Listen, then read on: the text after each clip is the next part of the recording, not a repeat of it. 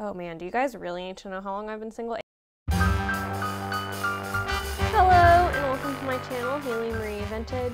Today I'm very excited. I am bringing you a 1950s sewing project. Uh, let me real quick grab the pattern. I am doing this pattern here. This pattern is actually really intricate and interesting, but because of the way I'm doing the fabric, I'm not doing the like, I don't know what to call it, the, the bicolor or whatever not doing that because this project is a part of another collaboration. This is a collaboration with a lot of the same people that I did my 40s Friendsgiving with, and I will be linking everybody who's participating down below. We are a little bit more varied in who's able to participate this round. This is just kind of your friendly reminder that a lot of us YouTubers have full-time jobs outside of YouTube and we can't always do everything we want to do because this isn't our full-time jobs. Anybody who can participate in this one, I'm going to link down below. I'm excited to see what everybody makes.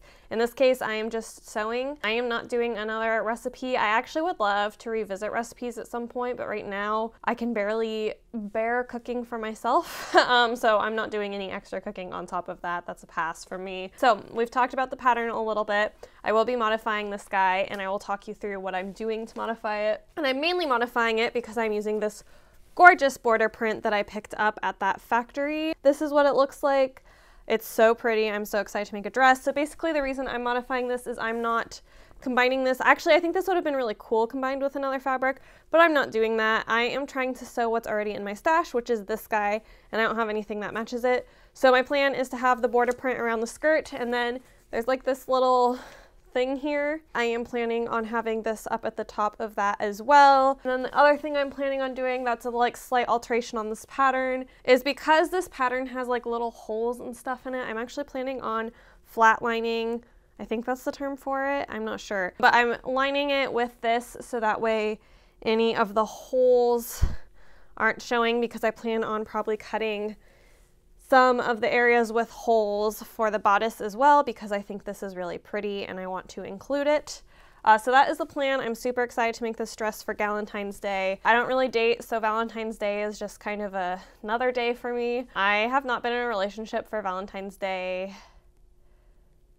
Oh man, do you guys really need to know how long I've been single? Eight years? Something like that. Dating just isn't a priority for me. I find it exhausting. Yeah, I just, I find it tiring and I would much honestly rather spend my like Valentine's holiday alone sewing and I don't know what that says about me. So we are gonna now go ahead and dive in to making this garment. All right, here I am cutting out my pattern. So for this skirt, because I'm not making the complicated pattern that like comes with this, I went ahead and I put all the pattern pieces together and measured and then wrote down those measurements and I ended up going with about a 28 inch long length and cutting from there.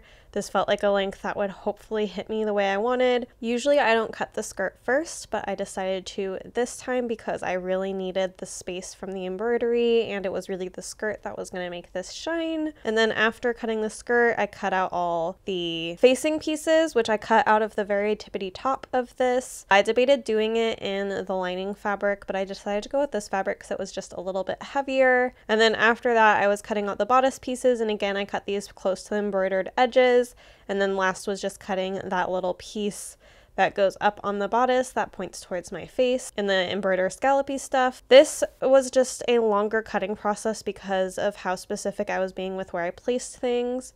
And I wore a vintage dress while doing this, which I don't think I will do again, at least not one with a hand stitched hem, because in the process of cutting this, I completely ripped all of the hem stitchings out, and now I'm gonna have to re-hem this dress, so I made more work for myself while cutting a sewing pattern. Yeah, would not recommend, and I won't do again. I will stick with rolled hem dresses from here on out when I cut out patterns. Um, I thought I would kind of talk about romance and relationships a little bit, since this is a Valentine's Day themed video. As I mentioned, I've been single around Valentine's Day for a long time. That's not saying I haven't dated people, but uh, Valentine's Day has never been my thing when I've been in romantic relationships. It's just not, I don't know, my vibe. However, I do kind of want to talk about the beauty of platonic friendships and how I think in America, or maybe worldwide. I don't know. You'd have to comment down below if you're from somewhere else. I just don't feel like we give the appreciation and love we should to our platonic friendships. My platonic friendships I find so fulfilling, and it's actually why I haven't been dating for a while, is just because if I have the choice to spend time with somebody who I love and who makes me a better person and pushes me for two hours instead of like sitting on a date with someone who's boring my brains out, I just would much rather spend that time with that platonic friend because honestly, I get a lot of emotional intimacy and things that I need out of that. And I just think it's really important to acknowledge those non romantic relationships. And so I encourage you this Valentine's Day to text a friend that you just really appreciate and love or do something nice for them. I don't think Valentine's Day needs to be about romantic relationships. I think it can also just be about those really intimate platonic friendships. Alrighty.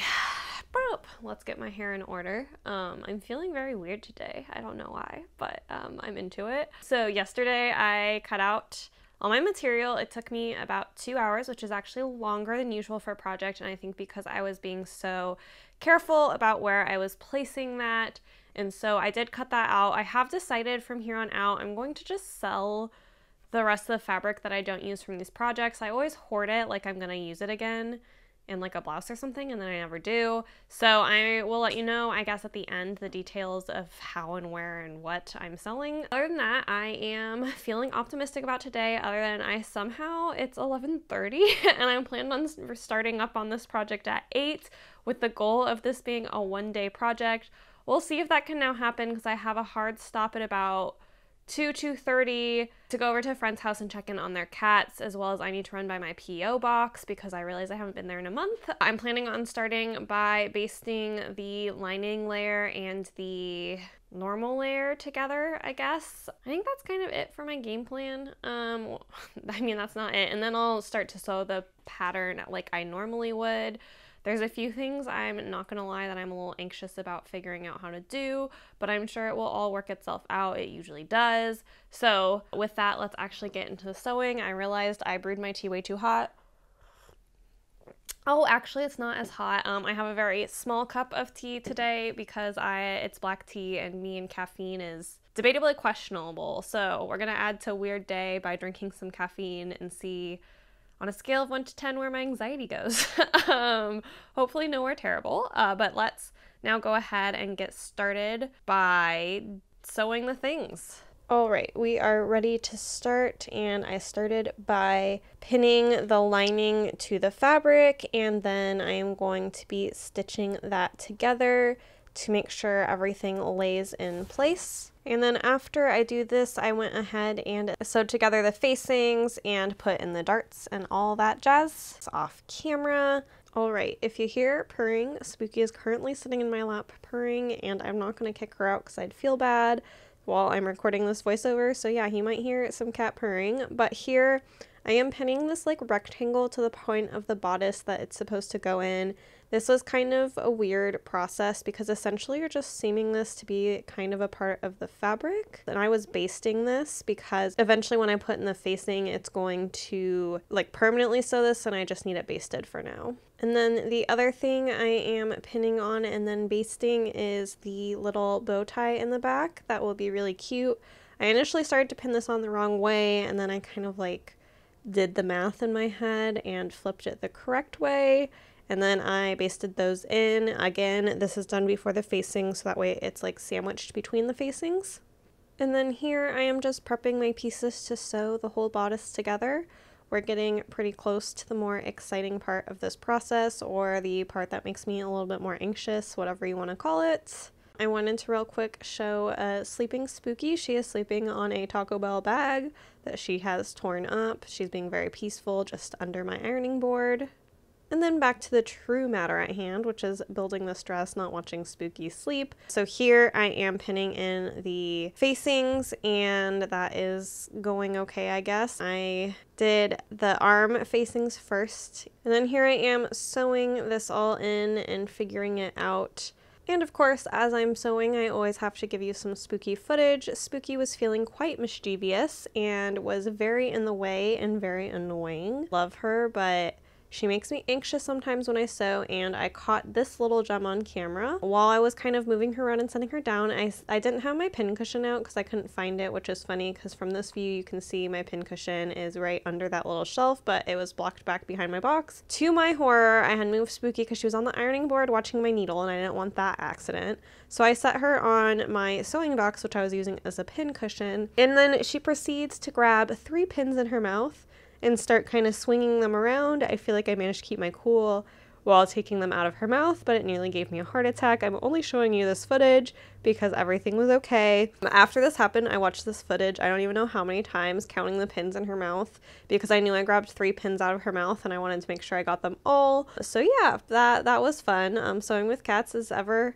and forever an adventure. Me actually showing you the complicated part of this neck facing you're seeing kind of more of the inner workings. I feel like I didn't do a great job showing you guys this, but essentially, like, I have all these pins. I'm essentially going to top stitch, but then the facing has to be flipped up and out where the facing just basically is on top and so then you're basically you're, you're stitching blind one way in a way that I don't like and so I had to be really really careful while sewing this and I was really trying to not screw it up and ruin everything, which I managed to do fine. I did have to unpick one of the corners and redo it, but I think overall I was fairly successful. So uh, we are in here in my lovely 80s bathroom. Uh, I just felt like it's probably helpful for you guys to know how I get rid of these. So basically, before I attach the bodice to like something bigger, I try to get rid of these because I don't need these marks anymore now that the bodice is made. And so this is just water that I'm spraying on this ink. I am getting this pretty wet, but I still find it more successful to spray it than dunk, dunk it because it definitely dries faster when you do this over when you um, dunk the whole thing. And then I'm just rubbing it to try to make sure all the ink actually dissipates. And I'll show you this again in the morning. I guess maybe I'll awkwardly do my morning check-in in here or something to show you if this went away or not. Um, but since I live in a very humid climate right now, uh, actually it's not normally this bad, but right now it's it's more humid than I would say normally. It takes a while for things to dry, so I try to minimize that by, like I said, not dunking the whole thing. Although honestly, this one's gonna need enough spraying that I almost may as well dunk the whole thing. Oh dear. this is what happens when you don't have a zip. And this also shows you the bodice, uh, where we're at at the end of the today. Uh, today did not go necessarily as planned. I'll talk about that more tomorrow morning. Good morning. So we are back the next day. Um, I'm pretty pleased with the progress I made on the dress. I did not finish the dress in a day like I had kind of planned, but I'm totally okay with that just because right now um, you'll maybe have noticed on some of my close-ups uh, because my hands are looking pretty red and peely right now. Um, I'm having a pretty bad eczema flare-up on my hands, which makes it so I just like can only sew so many hours a day because like my hands just like hurt after touching fabric. Every time I poke myself with a pin, it's like magnified the pain times like five or six when my hands are like this. So I just like can't sew for like the long bout of the day that I normally can. So I only sewed, I think, three or four hours yesterday. Let's see, I started at noon. I stopped at about 3.30. Uh, and then I hand sewed for probably about another hour. So what, about four and a half hours. I did come out with a very successful bodice. I think this is looking so cute and I can't wait to see what it looks like all made up and attach to the skirt, which is what we're doing today. As you can see, all those blue lines I sprayed are gone in this fabric. I'm super pleased with this dress so far. I think it's gonna be so cute uh, and I absolutely adore this little detail here. So now I just need to spend my morning um, working on the skirt, wrapping that up, which should be pretty easy because I basically just have to do up the side seams and then I have to gather it, attach it to the bodice, and then put in the zipper. So all of that is pretty easy and I will walk you through that today and then we should be wrapped up and ready for the reveal hopefully. The other thing is I realized yesterday I was feeling so weird because I forgot to take my anxiety medication, which at this point I feel a complete difference. Like I I like don't know how I lived life before cuz uh now when I like forget to take it, I realize that's like how I was living all the time. Like I left my house and I had to drive back to make sure there weren't any pins anywhere even though I had known I clean up the pins and then I'm watching a friend's cats and I had used the oven for something And I like I decided irrationally to drive back like two hours later and check that I didn't leave the oven on when I like remembered turning it off. So that is what happens when I miss my medication, and that is like just how life used to feel for me all the time. So today I have taken my medication, I have moisturized my hands as well as I can, and we are prepped and we are ready to wrap up this dress, which I think is gonna be so cute and I'm so excited. So we're gonna hop into it now. And here's Spooky now playing with the Taco Bell bag. Uh, I just thought it was funny, so I thought I'd show you. And then now I am just working on the skirt. I am just ironing down the edges that I sewed together. And then here I am sewing in all the stitching I need to gather this nicely and neatly. I really wanted the gathers for this to be especially neat. I mean, I always do three rows of stitches, but pleats just really matter here because I really love this fabric and I want it to look as professional and nice as possible. So yeah, I'm just basting in those three rows of machine stitching to get everything as beautiful as I want. And then here I am gathering all of this into where the bodice is and I had a little bit of a hard time getting them even because while they were tight they were loose enough that you had to kind of move some stuff around but I did figure it out. Um, I've been really liking pinning with the pin head sticking out of the gather so I can sew from whichever side I want and pin from whichever side I want and then I can easily see the heads in the machine and just pull them out. And then with that all done the last step I have is to put in the ever dreaded zip zipper. I think I'm actually really getting better at zippers and I'm pretty excited about it because they're usually my most dreaded part and the part that I dislike the most but lately it's been going really well and I feel like I have it down. I used a red zipper on this pattern for a few reasons. First the red zipper, I just don't use red that often so anytime I do use red I try to use a red zipper to use up my red zippers. And then second I just thought it was kind of a funny thing to, I guess, nerdy people like me. Basically, the reason you see plackets over zippers in earlier decades is because it's not supposed to like be seen that you can take your clothes off really quickly, I guess. This might not be true, but I read it somewhere, saw it on TikTok. I don't know. But so I think it's actually kind of funny to put a red zipper into a Valentine's Day dress because it very much implies naughty things, and I just think that's absolutely hilarious. And I, I do find the fact that closures weren't supposed to be noticed to be really interesting and and that it was like unladylike to like show a zipper. So I feel like having a red zipper down the back is just the perfect thing to show what a lady I'm not. And after this, we are ready for the reveal, and I'm so excited to show this dress to you.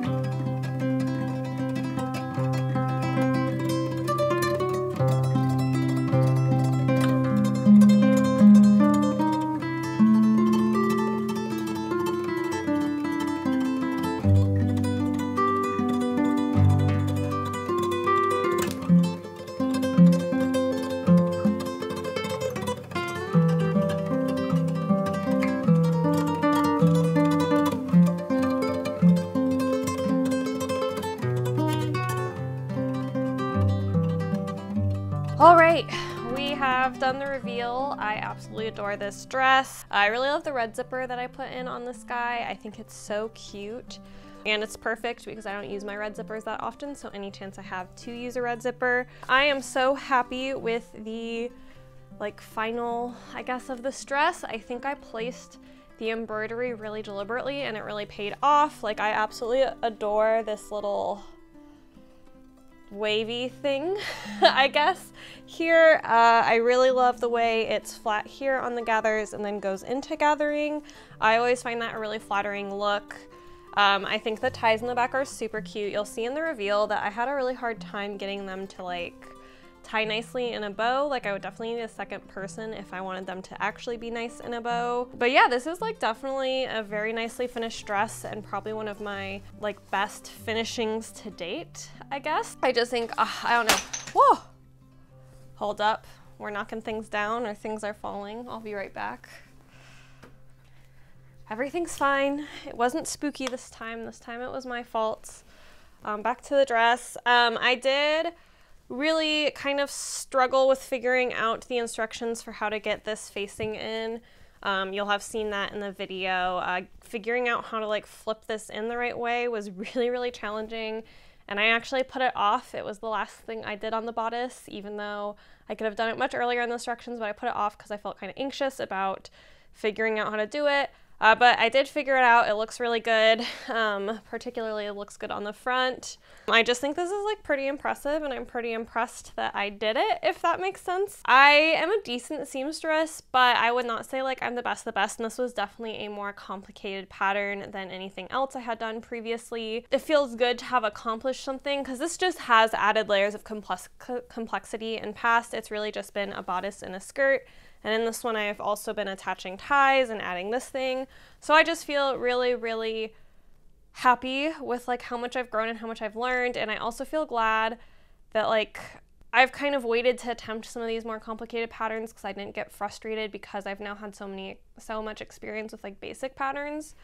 Uh, but I think that about wraps this up. Definitely make sure to check out anybody else who posts Valentine's Day themed videos. I will link a playlist and link everyone who participates down below. I love Galentine's. Uh, now I have the perfect dress for it. Other than that, uh, I am, I did mention that I was going to sell the rest of this yardage. If you are interested in it, go ahead and DM me. I think I have, let me check. I actually have it right here. So I have two and a half yards of the full length and then one and five eighths yard of just the top part that does not have the embroidery on it uh, or has less embroidery on it. So that is what I have. I, I don't know, make me an offer. I don't know what I'm pricing it at, but yeah, just go ahead and DM me via Instagram and we can figure out how to get it sent out. It is really gorgeous fabric and I just know that like this dress is all I want from it. And so now that I am all wrapped up with it, I am definitely interested in selling this to uh, someone who loves vintage like I do and who will make a really awesome piece out of it. And then if you would like to support this channel, you kind of know the drill. If you would like, comment,